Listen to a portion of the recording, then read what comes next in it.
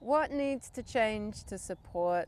the future of farming is an entire systems change. So we're not talking actually about change, we're talking about the transformation of the current food system. And I think people are increasingly becoming aware of how broken systems are, even in education and in healthcare and certainly in food production. And what I'm most inspired about is seeing these producers that really are taking that system on and looking at how do I go around what is currently a boundary to really creating um, nut nutrient dense systems and food and you know systems that are truly profitable as well. So for many producers, you literally are trapped on a treadmill. Like it, it, it is that experience of you're putting this kind of input in and, and then this input means you need the, this kind of fungicide, you need this pesticide, and now you need this nitrogen. And really the first step is asking the question of why, of why is it that I need these particular inputs, and then looking at how do we substitute and pull some of these inputs out with a, with a longer term focus in terms of how do I build soil health because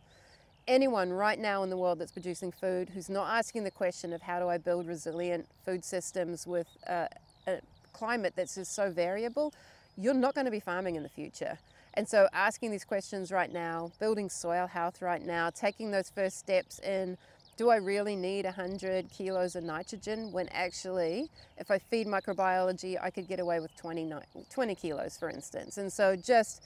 taking some of these small steps, even trialing stuff just to get started, working with a trusted mentor, finding someone that's further along the track and just going, okay, what's something that I can very simply start to uh, adapt and work into my system. So in my book, I have quite a few examples of how people can do this um, and just take some of that risk and that fear about what are, what are some simple steps I can do to build soil health. I work with some incredible ranches where literally in a 10 kilometer radius, 50% of that area is now being managed regeneratively. So when people say to me, this is slow or it's not happening or, um,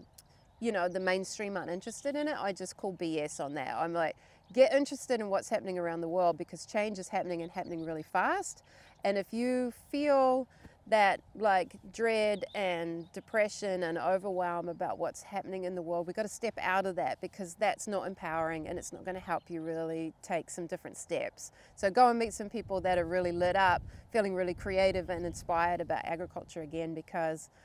this is the most exciting thing since the tractor.